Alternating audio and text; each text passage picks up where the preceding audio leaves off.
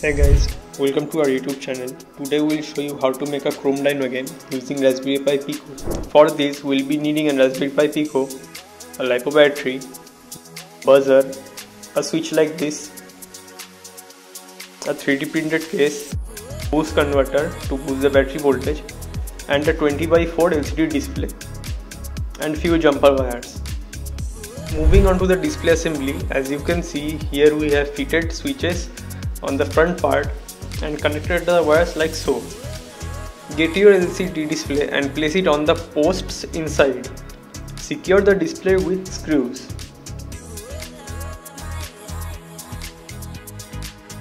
Okay, now the display part is complete. Moving on to the battery section, we have connected the boost converter to the battery and we need to cover the boost converter with some tape so that it doesn't short anything once placed inside.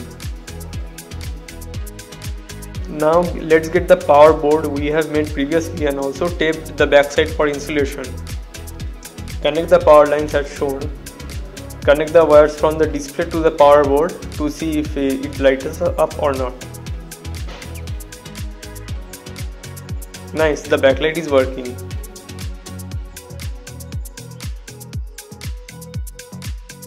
Now for the brains of the game, slot the Pico into its holder like so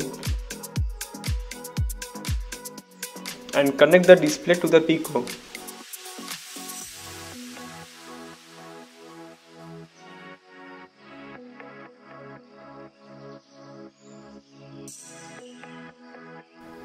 Okay guys, uh, I almost forgot about the switch. For now, enjoy the build process.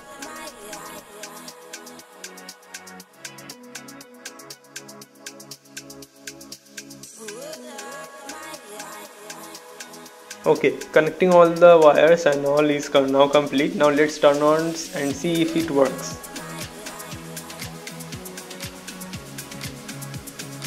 Yes it works. Let's play a small game.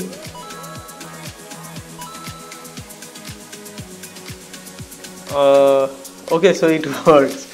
Now it's time to pack everything into the case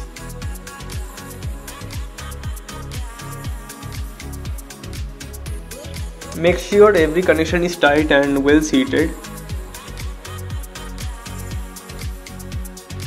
Carefully placing the board so that nothing shorts out.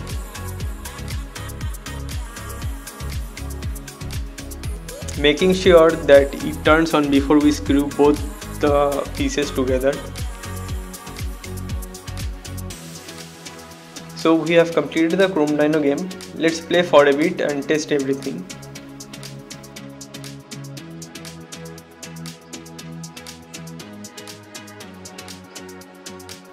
Never mind guys i am not good at this game. Well i hope you like this project. Also check out our other projects and other stuffs and we'll see you around